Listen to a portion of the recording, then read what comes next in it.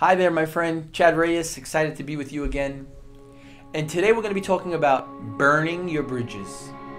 Think of that. Burn your bridges. You need to burn your bridges. Whew. That's a powerful one.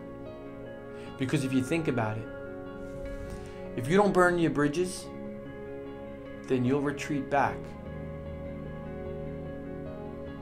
and you won't move forward in your vision. Many years ago, I heard this story of a general who would go to war and he would bring his boat to war and he would have all of his men on there and then he would light the boat on fire and say, Now we got to win the war because there's no way to go back. We either win or we die. And my friend, today I'm asking you to burn your bridges. So many people, you may be one of them, have visions for what they want. I want to build this business. I want to launch this company. I want to move here. I want to move there. You see, options are great only when you've burned your bridges first. See, if your option is retreat back to the known, retreat back to what's comfortable, then you've given yourself the ability to go back to what's comfortable rather to rather than moving forward in your purpose, in your calling. See, burning your bridges is not ruining relationships. Burning your bridges is not allowing yourself to retreat back. So case in point in 2020 when the pandemic happened, my wife and I and my partner John, we made a decision. I want to give you a real example. We made a decision at that very moment, around March 20th,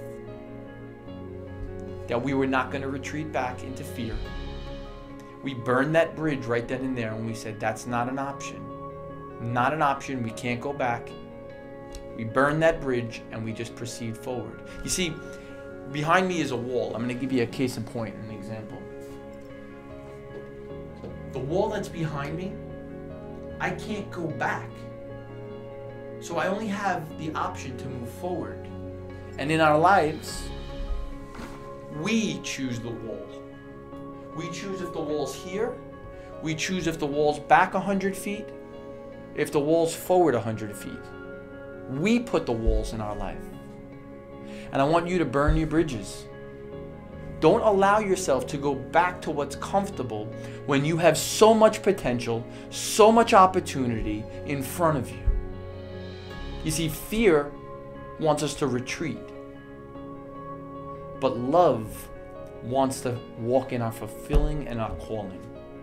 My friend, don't allow the burning, don't allow the, the boats to be there as an option to retreat. Burn the bridge Burn the ability to go back to comfortable and only walk forward in what you were called to do, what God put in your heart. Because I just know this I know that you can never, ever accomplish what you want to accomplish in your lifetime if you consistently allow yourself to have the option to go back. The option to go back will eventually make its way in and you will eventually retreat. Burn that bridge. Choose to move forward. You know, my father was a Marine. And as I'm sharing this, I'm thinking through this story in my head. My father was a Marine. And one of the things that a Marine does is a Marine continues to move forward disciplined. And when one of their men die, they know that they care about that man tremendously. But they know that they have a responsibility to protect those that are alive. And keep moving forward. Burn your bridges.